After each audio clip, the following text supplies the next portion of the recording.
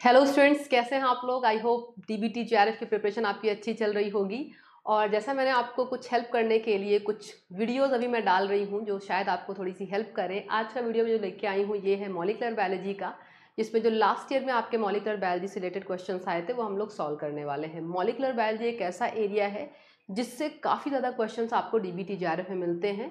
Specially statement वाले questions assertion reason वाले questions काफ़ी सारे यहाँ से मिलते हैं। ठीक है? और जो क्वेश्चन हम लोग सॉल्व करेंगे, उनके लिए जो कंटेंट मैं यूज़ करने वाली हूँ, ये fundamental of life sciences volume one की बुक से होने वाला है। तो अगर आपके पास ये बुक है तो वहाँ से जाके आप कंटेंट को रीड भी कर सकते हैं, है ना? चलिए देखते हैं पहला क्वेश्चन कौन सा है। फ़र्स्ट क्वेश्चन देखिए, ये आपका मॉलिकुलर बायोलॉजी का जो दिया गया है, इसमें एक सिंगल स्टैंडर्ड डीएनए का सीक्वेंस दिया गया और आपसे वीकेस्ट डिप्लेक्स पूछा गया। ठीक है क्वेश्चन रीड करते हैं। Rehan made a single standard DNA with the following sequences five prime to three prime, ये सीक्वेंस आपको दे दिया गया। सीक्वेंस एक बार देख लेते हैं। Five prime G G A T C T three prime ठीक है? ये सीक्वेंस था। With which of the following single stand will it form weakest duplex कि जितने भी आपको ये सीक्वेंस दिए गए हैं, उनमें से सबसे वीक डुप्लेक्स किसके साथ में बनेगा? जो हाइब्रिड बनेगा, वो सबसे कम स्टेबल किसके साथ में होगा? तो इसके साथ मैचिंग करते हैं, देखते हैं। जो कॉम्बिनेशन वन दिया गया है जहाँ पर आपको क्या दिया गया? Three prime, C C, T, A, G, A, ये तो कंप्लीट मैचिंग है। कंप्लीट कॉम्प्लीमेंट्री सीक्वेंस है एक्सटेंसिव पेयरिंग हो रही है तो ये तो स्टेबल होगा, है ना? ये आपका स्टेबल हो जाएगा। आते हैं सेकंड पे। सेकंड वाला कॉम्पोजिशन बनाते हैं, ठीक है? इसमें क्या दिया गया आपको? बी में फाइव प्राइम दिया गया है। ये थ्री प्राइम है फाइव प्राइम यहाँ लिख लेते हैं। Five prime A, G, A, T, C C, three prime, ये भी करेक्ट है, ये भी स्टेबल हो जाएगा। एक सीक्वेंस आपको फाइव प्राइम से लेके दे दिया गया, दूसरा थ्री प्राइम से ले लेके दे दिया गया है। बट दोनों एक्सटेंसिव पेयरिंग कर रहे हैं, हंड्रेड परसेंट पेयरिंग हो रही है। सी देखते हैं, ये तो आपका ए ऑप्शन हो गया, ये बी हो गया। सी वाला ऑप्शन देखते हैं, सी में क्या है कंडीशन, सी में देखिए क्या है, फाइव प्राइम ठीक है, इधर लिखते हैं फाइव प्राइम ए है जी है ए है ए है टी और टी ठीक है, इसके अलावा डी भी देख लेते हैं, फिर सी और डी में मैच करते हैं, कौन सा सबसे पुअर होगा। यहाँ पर क्या दिया गया आपको? ये थ्री प्राइम है सी सी ए ए जी ए तो सबसे जो वीक पेयरिंग हो रही है वो इसमें हो रही है। अगर आप ध्यान से देखिए तो यहाँ पर जी के साथ टी आ रहा है जी के साथ टी आ रहा है ए के साथ ए आ रहा है टी के साथ ए बस आ रहा है और सी के साथ जी बस। ये वाला सीक्वेंस आपका मिल रहा है। इसमें अगर देखिए तो सी सी जी जी ए है बट यहाँ पर टी के साथ में ए है, यहाँ पर भी सी टी के साथ में जी ए है। तो जितना भी जो, जब आप इनका कॉम्पोजिशन देखेंगे तो ये सबसे वीकेस्ट डिप्लेक्स बनाएगा दिस वन ये वाला, जो थर्ड वाला कॉम्पोजिशन है, क्योंकि यहाँ पर जो कॉम्प्लीमेंट्री बेसिस हैं, आपको वो सबसे कम देखने को मिल रहे हैं, ठीक है? तो ऑप्शन सी आपका करेक्ट हो जाएगा एज पर क्वेश्चन है ना? डुप्लेक्स डीएनए की बात की गई थी। नेक्स्ट क्वेश्चन देखिए given below are two statements one is labelled as assertion A and other is labelled as reason आपको दो स्टेटमेंट दिए गए असर्शन रीजन के। एंड हमें फाइंड आउट करना है कि इनमें से कौन सा रिलेशन करेक्ट है। One two three four option आपको जो दिए गए हैं, उनमें पता करना है। तो पहले देखते हैं असर्शन क्या दिया गया। The stand separation of D N A occurs in vivo during the process such as D N A application and transcription right होता है, जब डी एन ए एप्लीकेशन या ट्रांसक्रिप्शन की प्रोसेस होती है तो आपको पता है डीएनए की ओपनिंग होती है है ना? अनवाइंडिंग होती है। तो ये तो स्टेटमेंट करेक्ट है इन वीवो जो इनसाइड सेल प्रोसेस हो रही है, वहाँ पर स्टैंड सेपरेशन होगा, तभी तो सेकंड स्टैंड इसका बनेगा प्राइमर आके अटैच होगा। तो ये तो सही दिया गया है। नेक्स्ट देखते हैं the sites where these process are initiated like अगर हम डी डीएनए एप्लीकेशन की बात करें तो ओरी साइट पर एप्लीकेशन प्रोसेस इनिशिएट होती है। वहाँ पर क्या दिया गया? Offer rich in C G base पर ये गलत दिया गया है। जो ओरी साइट्स होती हैं they are AT base pair rich है ना? ये C G base pair rich नहीं होती है। तो ए ऑप्शन तो आपका सही दिया गया है। बोते एन आर करेक्ट गलत है।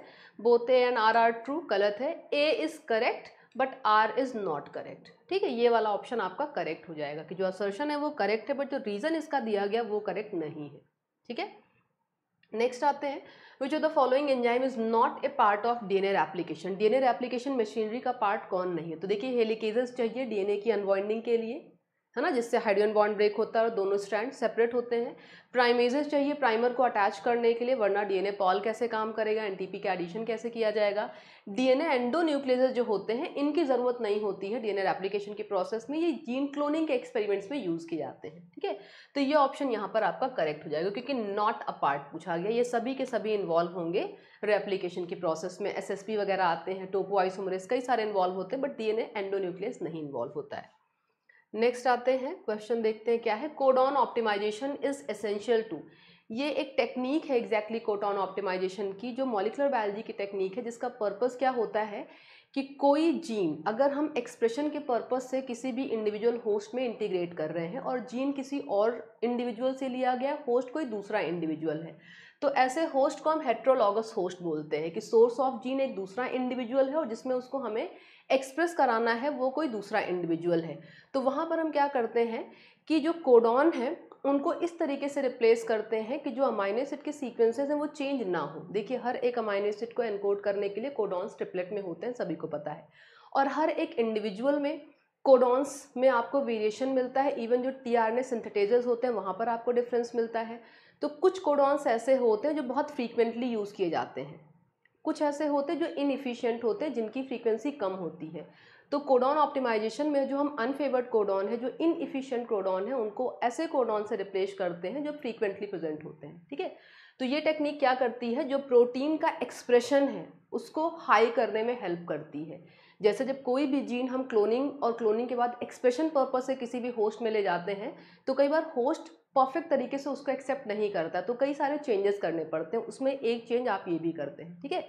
तो अगर कोटॉन रिप्लेसमेंट प्रॉपर तरीके से हम करेंगे तो क्या होगा? Maximise protein yield in heterologous host की होस्ट में उस जो डिजायर्ड जीन का एक्सप्रेशन आप चाह रहे हैं, वो एम्पल अमाउंट में होगा, है ना? जो प्रोटीन के एक्सप्रेशन को इंक्रीज करेगा। नेक्स्ट आते हैं। Given below are two statements one is labelled as assertion and other is labelled as reason R दो स्टेटमेंट आपको दिए गए। काफ़ी क्वेश्चंस आपको असर्शन रीजन वाले मिलते हैं यहाँ पर।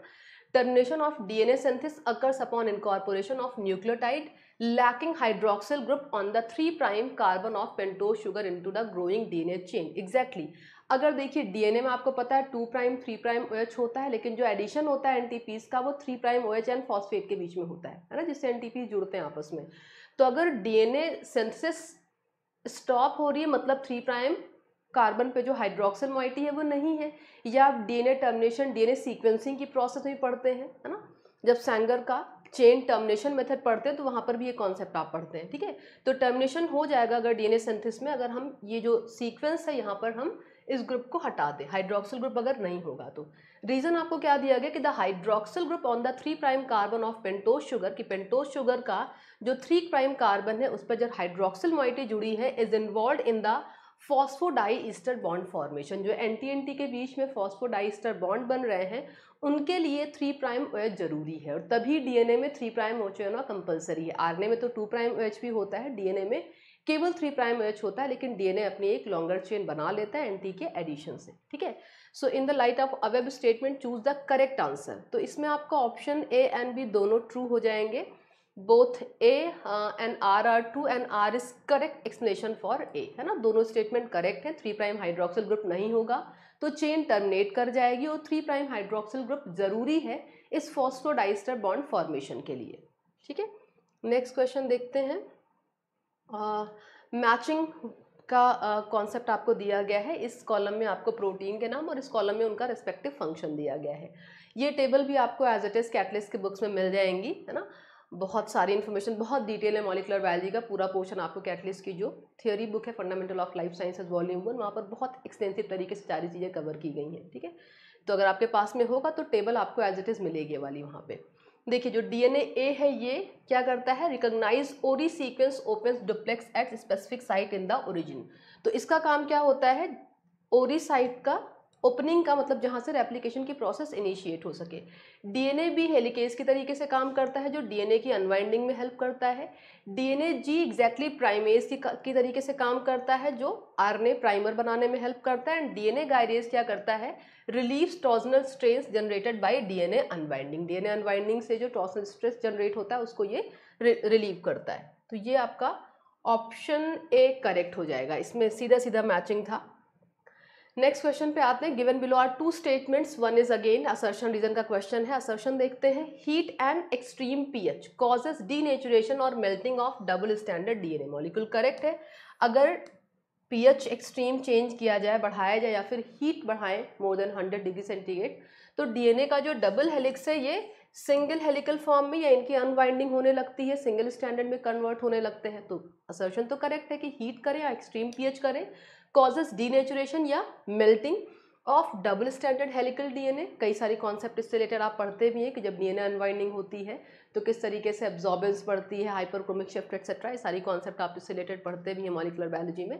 अब दूसरा आपको रीजन क्या दिया गया कि breaking of covalent bond of DNA causes unwinding of double helix ऐसा नहीं है। जब डीएनए की अनवाइंडिंग होती है, दोनों स्ट्रैंड सेपरेट होते हैं तो बेसिस के बीच में जो हाइड्रोजन बॉन्ड होता है, वो ब्रेक होता है, जिससे इसकी अनवाइंडिंग होती है। कोवेलेंट बॉन्ड यहाँ पर ब्रेक नहीं होता है।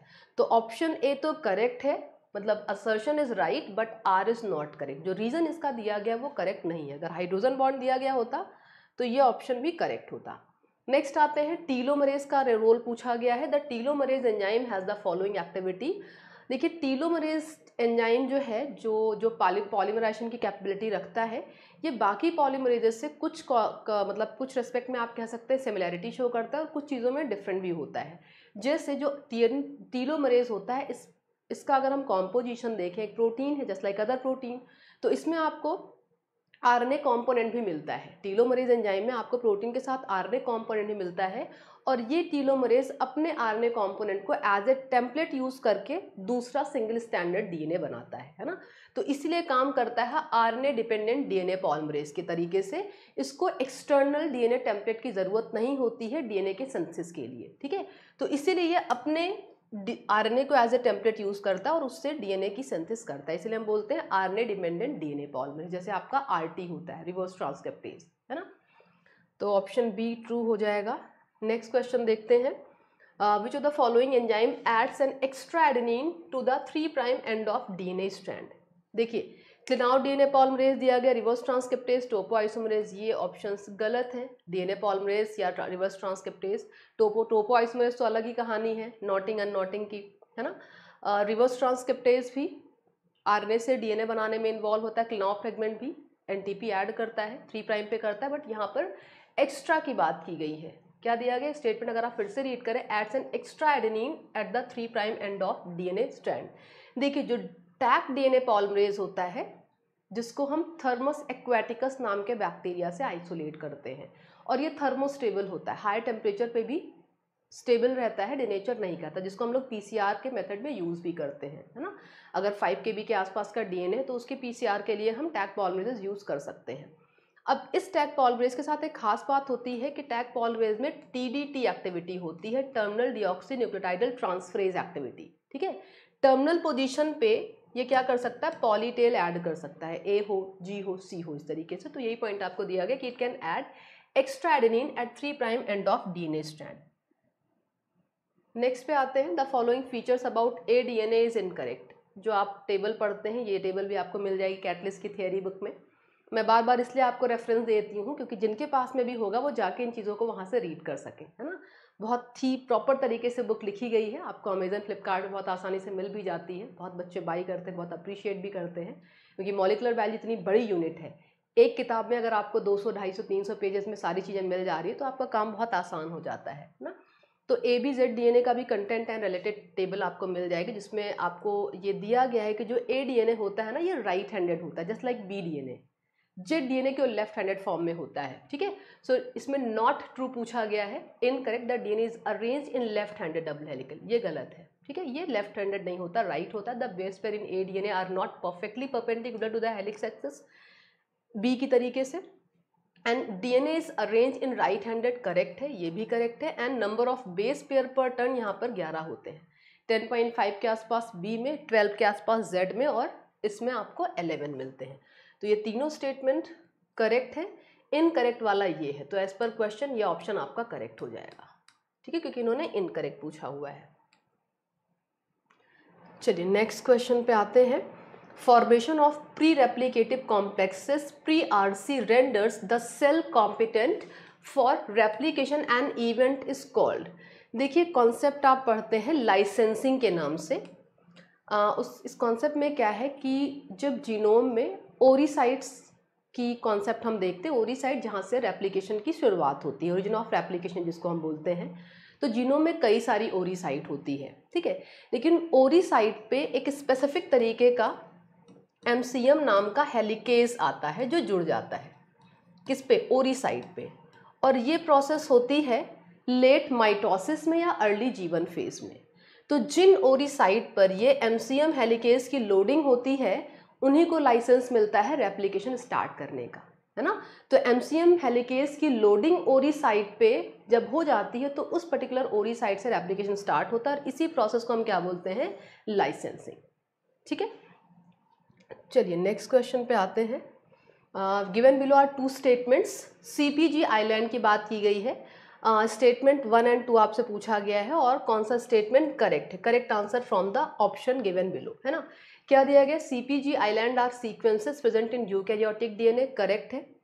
जो यू यूकैरियोटिक के प्रमोटर रीजन होते हैं रेगुलेटरी सेगमेंट उसमें आपको सी पी सीपीजी आइलैंड मिलते हैं सीजी सीक्वेंसेस और इन, आप देखिए जो जीन होते हैं ना, उनका ट्रांसक्रिप्शन ऑन होगा, या ऑफ़ होगा। ये एक मॉडिफिकेशन होता है डीएनए में, जिसको हम क्या बोलते हैं? मेथाइलेशन साइटोसिन के फिफ्थ कार्बन पे मिथाइल ग्रुप अगर जुड़ता है तो वो किसी जीन के ट्रांसक्रिप्शन को ऑफ़ करता है। मतलब इस सीपीजी साइट पे जो प्रमोटर रीजन में है, अगर इसको मिथाइलेट कर दिया जाएगा तो ट्रांसक्रिप्शन ऑफ़ हो जाएगा। सीपीजी सीक्वेंस में एक्टिवेटर जुड़ेगा या रिप्रेसर जुड़ेगा? ये डिसाइड करेगा कि ट्रांसक्रिप्शन ऑन होगा या ऑफ़ होगा। तो सीपीजी में अगर मिथाइलेशन होगा तो रिप्रेसर जुड़ेगा ट्रांसक्रिप्शन ऑफ़ होगा और अगर एक्टिवेटर जुड़ेगा मेथाइलेशन नहीं होगा तो ट्रांसक्रिप्शन ऑन होगा। So promoter region of many express gene in eukaryotics are generally invest in C P D island तो ये एक्जैक्टली प्रमोटर रीजन में होते हैं। पहली चीज़ तो सी पी जी आइलैंड जो आपको दिया गया यूकैरियोटिक डीएनए में होगा, बिल्कुल होगा। और ये प्रमोटर रीजन में होगा जहाँ पर सी पी जी सीक्वेंसेस आपको मिलते हैं। P stand for phosphate C cytosine and G guanine ठीक है? तो आपका स्टेटमेंट वन एंड टू दोनों ट्रू हो जाएँगे इसमें। नेक्स्ट क्वेश्चन पे आते हैं। Duplex D N A sequence that reads identically on both stand is known as palindromic sequence अभी कल जो मैंने टेक्निक वाले लेक्चर्स लिए हैं, उसमें कई सारे क्वेश्चन हम लोगों ने मैपिंग वाले किए हैं। ये दोनों का पार्ट है मॉलिकुलर का भी टेक्निक का भी, कि वो सीक्वेंस है जिनको आप फाइव प्राइम टू थ्री ठीक है?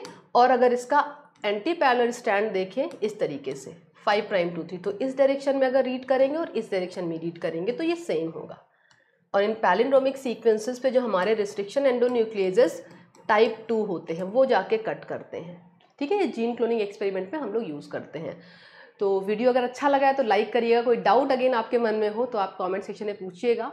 और भी कुछ लास्ट मिनट रिवीजन के वीडियोस में जल्दी अपलोड करूँगी, जो शायद आपको इस एग्ज़ाम में हेल्प करे। All the best